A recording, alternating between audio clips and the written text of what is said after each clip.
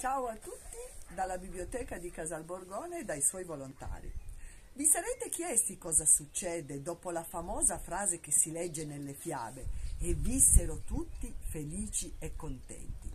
Ebbene, ce lo racconta questa fiaba russa che sto per leggervi. Serpente serpentoso, trasformatosi in un giovanotto ardimentoso, s'era messo a frequentare una bellissima principessa Oh, bella la principessa lo era davvero, con certe sopracciglia nere, ma altezzosa. Non permetteva a nessuno di rivolgerle la parola. Se ne stava tutto il tempo a chiacchierare con serpente serpentoso di chissà che.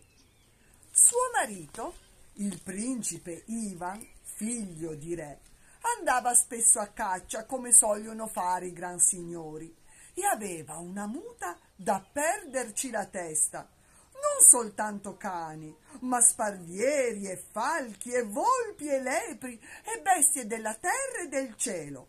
Ognuno lo serviva con le sue doti, la volpe con l'astuzia, la lepre con la velocità, l'aquila con la vista acuta e il corvo col suo becco forte. In una parola, il principe Ivan era invincibile anche per serpente serpentoso. Ma perfida la principessa lo aiutò contro il suo stesso marito. Si mise a letto, fingendosi malata, con gli occhi arrovesciati e le sue manine bianche posate sul letto. Il marito era disperato. Mia cara, cosa posso fare? Nulla, Nulla mi potrà risollevare, disse lei, eccetto il latte di lupo. Dovrei usarlo per lavarmi. E il marito, aiutato dalla sua muta, veloce corse a cercare una lupa. Quella spaventata si lasciò mungere e lui portò il latte alla moglie. Subito la principessa si lavò e tornò alla vita. Ma non era finita. Passa un giorno, passa un altro e la principessa si rimise a letto. Oh, non c'è nulla che tu possa fare per me, disse al marito disperato, tranne andare a prendermi del latte d'orso. E il marito veloce, il principe Ivan con la sua muta, partì alla ricerca dell'orsa. E intanto la moglie pensava, magari mio marito avrà la peggio. Ma niente da fare anche quella volta il principe Ivan tornò. La principessa fece buon viso al cattivo gioco e subito si rimise in sesto, ma non era finita lì. Oh, tesoro mio, fammi ancora una grazia, mostrami il tuo amore, portami del latte di leone e io non mi ammalerò mai più. Ah, la faccenda non era mica tanto semplice. I leoni vivono in paesi lontani e il principe Ivan prese la sua muta. Lupi ed orsi percorsero i monti, valli furono esplorate dai sparvieri e dai falchi, finché anche il latte di leonessa venne portato alla moglie. Ma lei, non contenta, un giorno gli chiese di nuovo Amore mio caro, adesso che sto bene sarei molto, ma molto più bella se tu mi portassi la polvere magica che si trova dietro dodici porte con dodici chiavistelli nei dodici angoli del mulino del diavolo. Cosa restava da fare al principe Ivan? Ovviamente partì con la sua muta.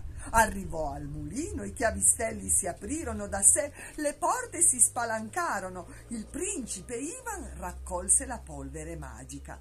Ma prima di uscire, ah, le porte si richiusero e i chiavistelli si inchiodarono e la muta rimase all'interno mentre il principe Ivan, solo, soletto, rimase fuori ad aspettare, ma poi, addolorato, si volse verso casa.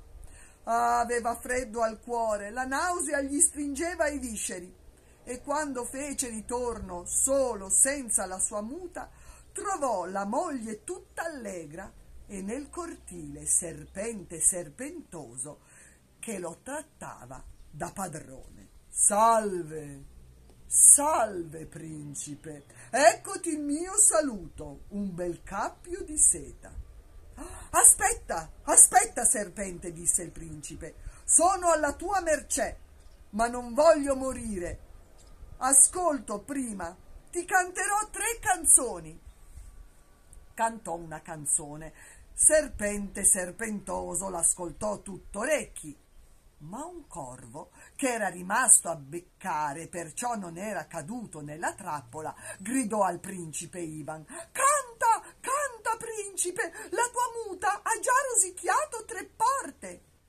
Cantò un'altra canzone e il corvo gridò Canta, canta, principe Ivan, la tua muta sta già rosicchiando la nona porta.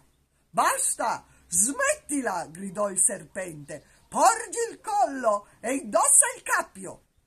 Ascolta almeno la terza canzone, serpente serpentoso, implorò il principe Ivan. L'ho cantata per le mie nozze, la canterò anche per il mio funerale. Intonò la terza canzone e il corvo gracchiò. Canta, canta, principe Ivan, la tua muta sta già rompiendo l'ultimo chiavistello. Il principe Ivan finì la canzone, porse il collo e gridò per l'ultima volta. Addio, vasto mondo, addio, adorati animali della mia muta. Ma la muta era già arrivata. Eccolo, uno stormo da oscurare il cielo, una schiera mai vista. Le bestie fecero a pezzi serpente serpentoso e gli uccelli beccarono la cattiva principessa fino a farla morire. E il principe, il principe Ivan restò solo, con la sua muta da caccia, a vivere per sempre senza dispiaceri. E quale destino migliore? Viva gli animali, migliori amici dell'uomo, altro che le mogli.